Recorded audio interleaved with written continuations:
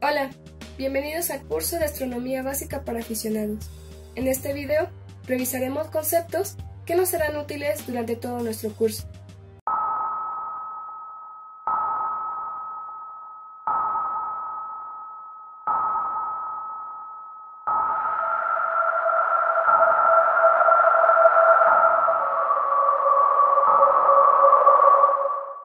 Antes de comenzar, es importante que recordemos las líneas de referencia imaginarias que utilicemos en la Tierra para ubicarnos.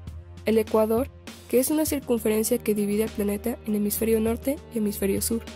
Los paralelos al ecuador, que son circunferencias que señalan los trópicos, y los meridianos, circunferencias que atraviesan nuestro planeta del polo norte al polo sur. Estos nos ayudan a determinar los usos horarios de cada región del mundo. Una vez recordado esto, empecemos. En este curso nos interesa conocer el lugar en el que estamos ubicados en el planeta Tierra, y esto lo determinaremos a partir de la latitud, nuestra ubicación con respecto a la dirección norte-sur, es decir, a lo largo de un meridiano. La latitud se mide en grados porque es la distancia angular entre el ecuador y un punto en la superficie terrestre. Según la latitud en la que nos encontremos, determinará los cuerpos celestes que podemos observar. Las constelaciones cambian según el hemisferio en el que te encuentres. Recordemos que nuestro planeta es esférico. La posición que tiene el planeta en el espacio exterior a lo largo del año con respecto al Sol también determina las constelaciones que contemplaremos. Esto lo podemos saber con la eclíptica solar, la cual es una línea curva descrita por la posición aparente que el Sol ocupa en la bóveda celeste y se debe al movimiento de traslación de la Tierra. A lo largo del año, el Sol recorre cada día aproximadamente uno de los 360 grados de la eclíptica, por lo que la posición que ocupe con respecto a las estrellas que forman las constelaciones delimitará su visibilidad. Es por esto que en los meses de verano no podremos ver, por ejemplo, la constelación de Orión, debido a que el Sol la opaca con su brillo, pero en diciembre es posible mirarla por la noche. Por ello, el tiempo es decir, el momento en que ocurren los fenómenos celestes, será importante para determinar qué vamos a poder observar. Para esclarecer lo anterior, revisaremos el ejemplo de una estrella en específico, la estrella polar.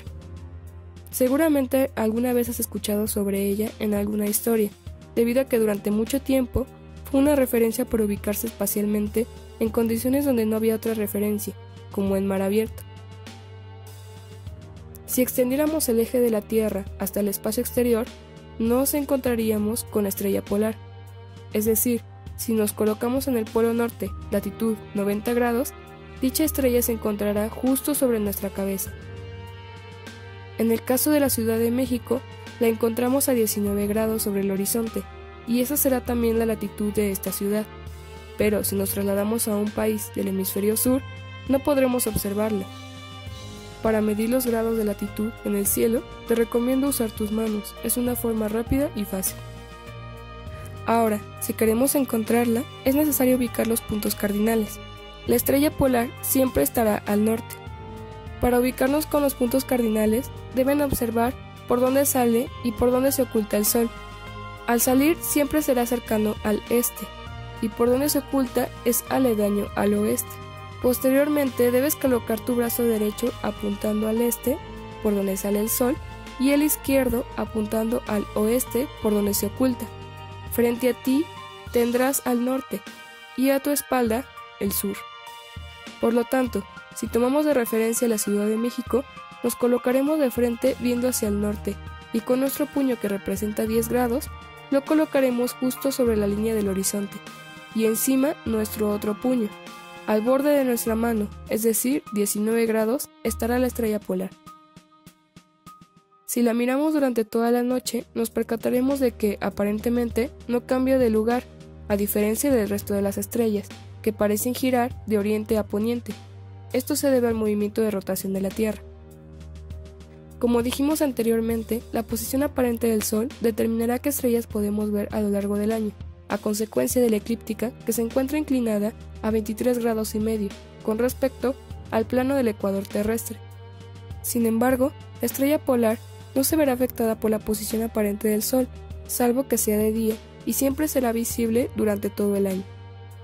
Los planetas del sistema solar se encuentran ubicados muy cercanos a la eclíptica solar, porque en un inicio nuestro sistema se formó a partir de un gigantesco disco de materia del que conservamos el movimiento alrededor del Sol. ¿En qué momento del año los podremos observar? Eso lo veremos en próximos videos. Para concluir, espero que los conceptos que vimos te hayan quedado claros. Te invito a conocer tu ubicación espacial en el planeta Tierra a partir de buscar tu latitud. Puedes hacerlo en Google Solamente pones la palabra latitud seguido del lugar en el que te encuentres. También te sugiero observar por dónde sale y se oculta el sol para que tengas un mejor dominio de los puntos cardinales. Eso sería todo por este video, nos vemos en el próximo. Hasta pronto.